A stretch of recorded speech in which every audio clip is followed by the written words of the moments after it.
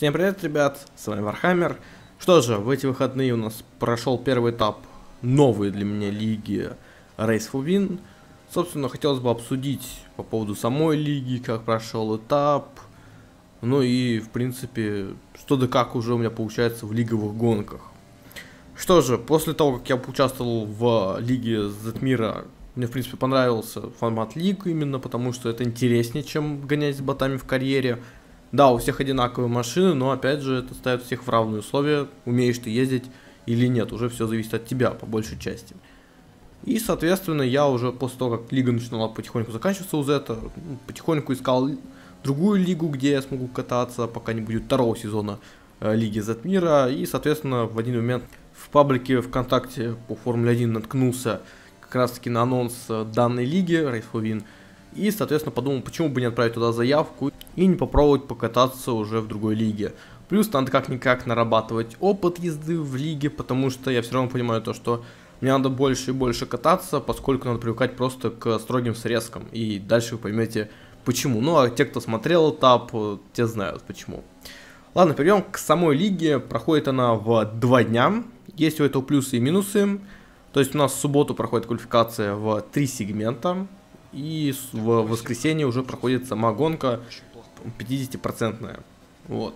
Ну, в принципе, по гонке все стандартно, но по квалификации для меня стало, ну, э, небольшим новшеством все-таки в Лиге Затмир ты привык к тому, что квалификация короткая, 18-минутная, тут уже все-таки в три сегмента, как в нормальной формуле. То есть, да, это интереснее, это и выбор стратегии, подразумевает собой за счет того, что три сегмента, и в третий сегмент ты проходишь только, ну, если ты прошел третий сегмент, то ты стартуешь на той резине, на которой ты в этот сегмент и прошел. Вот. И, соответственно, если посмотреть так, то, что квалификация гонок разделена на два дня, то это хорошо тут тем, то, что тебе не надо там выделять прямо конкретно два часа на то, чтобы проехать один этап. То есть час в субботу можно выделить, час в воскресенье выделить, даже меньше часа чаще всего, и все. По сути, ты проехал эти два этапа. То есть, ну, по времени это, да, это неплохо, это разделение как бы ты можешь не особо там задумываться о том, что у тебя вот там есть дела какие-то, есть другие лиги, что самое главное, и так далее. Но у этого формата есть и два огромных, по моему мнению, минуса. Во-первых, то, что это все разделено, соответственно, мы стартуем в гонке на свежей резине, несмотря на то, что ты прошел в третий сегмент, даже если ты прошел на софте, ты будешь стартовать на абсолютно новом софте. Он не будет никак изношен, только по ходу прогревочного круга он будет изношен. Да, у тебя нету вариантов там выбора резины, поскольку ты прошел, примерно на софте в третий сегмент, то ты на нем должен стартовать. В противном случае тебя просто дисквалифицируют из протоколов.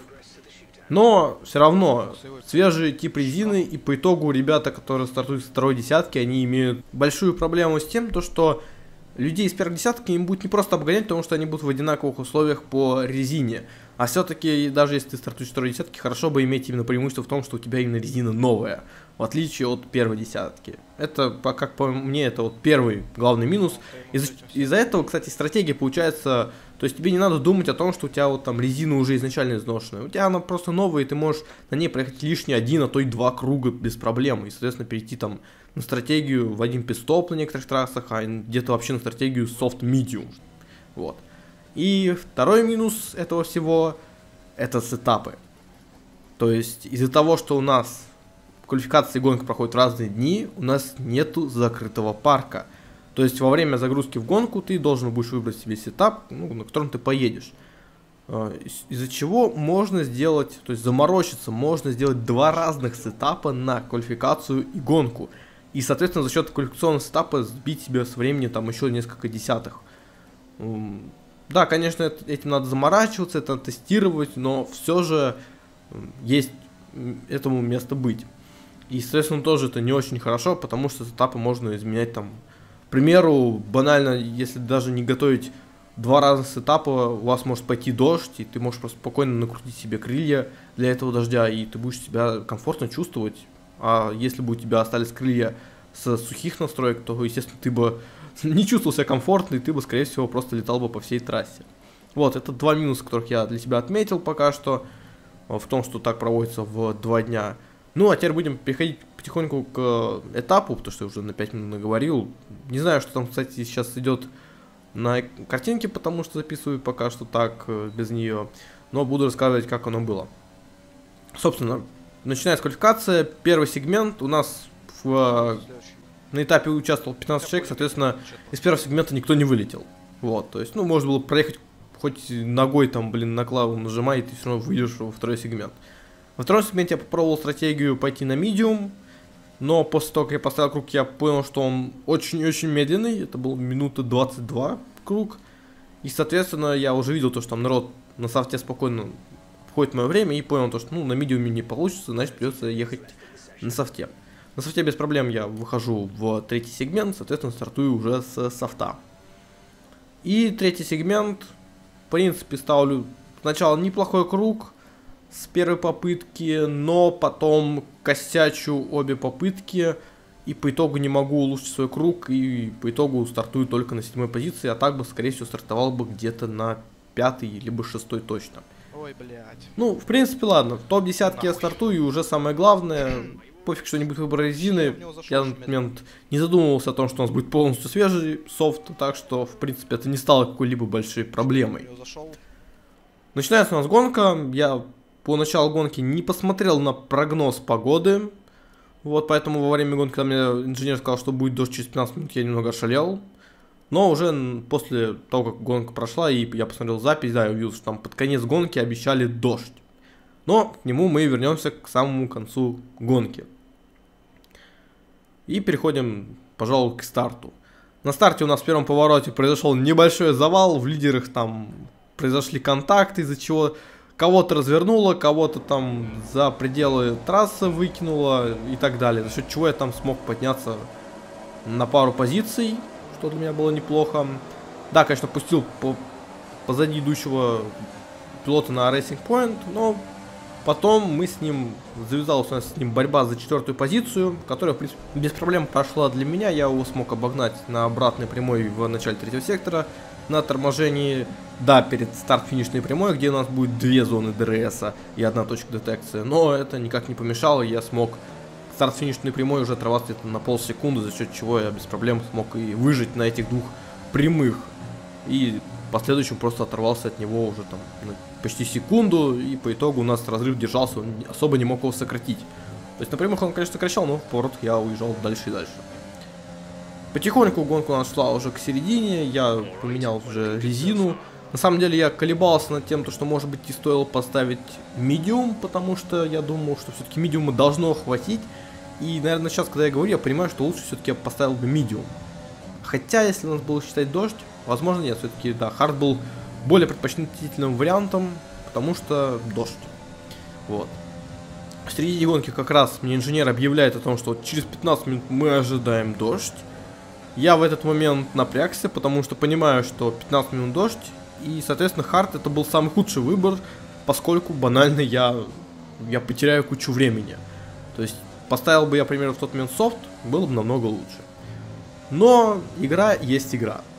Иногда тебе показывают в конце гонки дождь, и он начинает уже чуть ли не с середины идти, а иногда он показывает в конце и реально уйдет где-то только в конце.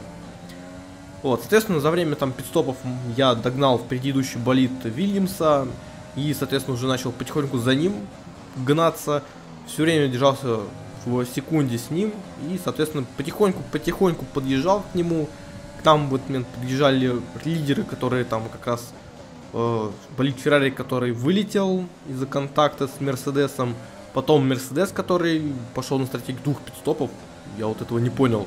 То есть сначала он заехал, как все, на первый пидстоп за хардом, а потом, когда у нас вышел СК в середине гонки, он зачем-то заехал за медиумом. Ну, в принципе, с его отрывом это можно было сделать, то есть он бы все равно оставался там в лидирующей тройке. Поэтому, ну, плюс-минус так. Может быть, он передумал, что хард до конца гонки лучше все-таки перейти на медиум. Вот, после СК у нас, в принципе, все более-менее обычный пелотон собрался, был дан рестарт, благо все прошло нормально. И я снова погнался за Вильямсом впереди, при этом надо было отрываться потихоньку от позади идущих болидов, потому что позади меня вроде шел болид Racing Point и шел он на медиуме, если я правильно помню. И, соответственно, с моим хардом, ну, это не очень хорошо, и меня без проблем мог атаковать. Но, благо у меня получается отъехать за счет того, что начинается борьба позади. И потихоньку я начинал доезжать до предыдущего Вильямса. К этому моменту я, наверное, уже набрал штрафов кучу. Где-то, наверное, секунд уже на 6, если не на 9. Вот штрафы, это тоже офигенно. Также успел пару раз засейвить свой болид почти из хреновой ситуации. Тоже, да, Австралия, мать его, за ногу. Вот, э, и что же, у нас наступает Детройт 20 круг. Я наконец-то обхожу болид Вильямса, начинаю от него потихоньку уезжать. И у нас на 20 уже каком-то третьем кругу вроде начинается дождь. Соответственно, 23 круг, скорее всего, на питстоп уже мы точно не пойдем, и игра даже не покажет того, что, типа, DRS отключен, и, соответственно, гонка переходит в дождевой режим. В принципе, так оно и произошло, то есть я ехал на харде, и за счет того, что я был как раз-таки на харде, мне было проще всего ехать в дождь, потому что все-таки самый жесткий тип резины, и э, этому типу резины проще всего продавливать водную гладь. Соответственно, я начинаю отрываться от позади идущих, начинаю догонять впереди идущую тройку, но к концу гонки я набираю еще 6 секунд штрафа, и того у меня получается собрать 15 секунд штрафа. Честно, после финиша я думал, э, в Z-лиге я сколько набирал максимум? Ну, наверное, секунд 6. Ну, самый максимум 9. Да нет, даже 6 это реально максимум, сколько я смог набрать. За счет срезок именно. А тут я, блядь, умудрился целых 15 секунд набрать. Это просто шок-контент. Из-за этого моя финишная четвертая позиция превращается в седьмую. Ну, тут, в принципе, что, пенять только на себя, то есть я слишком широко выезжал. Хотя, конечно, да, вот эти чертовы строгие срезки, это чертово правило выезда за белую линию больше, чем двумя колесами, это просто полный бред на своей игре. Ну, что поделать, таковы правила. Седьмая позиция итоговая, то есть я, по сути, от своей стартовой ничего не выиграл. Но по итогу все равно приехал четвертым, потому что для меня приехать четвертым было это очень хорошо, потому что я понимал, что по ходу всей гонки, если не брать косяки за срезки, в принципе, я ехал очень хорошо. И меня даже нигде не развернуло. И я нигде, блядь, не накосячил так серьезно. Это ж охуенно просто. Ну да, осталось только поработать со срезками, я думаю, в принципе, все будет уже good.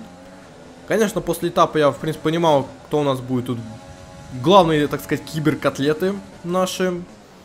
Вот, с кем придется сражаться. Точнее, ну как, пытаться с ним сражаться, потому что я понимаю, по темпу я просто ну, им буду проигрывать дико. Первая киберкотлета это Вадим Цветков. Вторая это киберкотлета Алексей Тамазов. И третья киберкотлета это Николай Поляков. Вот, собственно, эта троица очень быстро едет. Также, да, есть ребята, которые финишили позади меня, они также быстро едут. Но, как я заметил, в принципе, по скорости мы, значит, плюс-минус с ними равны. И за четвертую позицию бороться можно будет. Ну и иногда за подиум, если повезет, и лидеры будут ошибаться. Но, по крайней мере, как я заметил, в данный момент лидеры очень едут стабильно. И кроме ошибки там в начале, когда там один другого выбил, я не больше не увидел никаких ошибок, никого не разворачивал. Вот, как-то так оно все прошло. Надеюсь, более-менее нормально все рассказал, все нюансы. То есть, в принципе, я оцениваю этап на такую хорошую оценку. В принципе, все прошло нормально. Только срезки, все. Это, наверное, первый этап в лиговых гонках, когда я проехал нормально, и меня не развернуло, меня не вытолкали или еще что-то случилось. Только срезки. Ну, со срезками это надо просто работать, это надо просто очень много вкатываться и все. И ты уже начинаешь ну точнее ты понимаешь, где есть границы трассы и как широко ты можешь выходить из того или иного поворота. Вот, как-то так оно прошло. Следующий этап у нас будет в конце октября, 31 числа. Но я, к сожалению, не знаю, смогу ли я присутствовать на нем. Скорее всего, нет. А, то есть календарь лиги расписан так, что там есть перерывы между гонками иногда в одну неделю, иногда в две. И там зимой будет вообще перерыв в три недели. Вот, соответственно, сейчас двухнедельный перерыв, и из-за этого попасть на Канаду, второй этап я не смогу, и также еще на третий этап я также, скорее всего, не смогу попасть. Вот, из-за по состоянию здоровья, так сказать. На этом все, ребят. С вами был Warhammer. Подписывайтесь на канал, ставьте лайки и до скорой встречи. Пока-пока и удачи.